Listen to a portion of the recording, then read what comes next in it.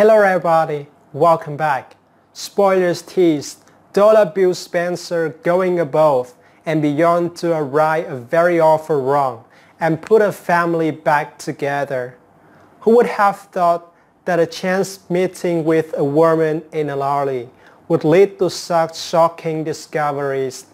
Dollar Bill saved Li Finnegan from more trauma, helped Dr. John Finnegan escape captivity, and learn the whereabouts of felon Sheila Carter.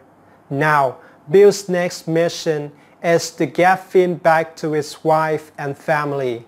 It's time to whip out the cell, spread the great news, and summon the jet. And don't think Finn will be one very grateful man. He has spent weeks cooped up in that room, often on the brink of death, wanting nothing more than to be with Steffy Forrester Finnegan and the kids. For him, this is a dream come true.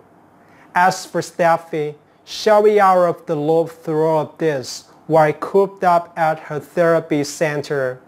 The whole time she'll be mourning the loss of her husband, her dream life, and grieving the loss her children suffer. Little does she know, she'll wiping away those tears very soon. Our dreams are so about to come true. Her husband is alive, recovering well, and on his way to sweep her off her feet once again. If you like this video, please hit the like button and subscribe to my channel. I really appreciate that.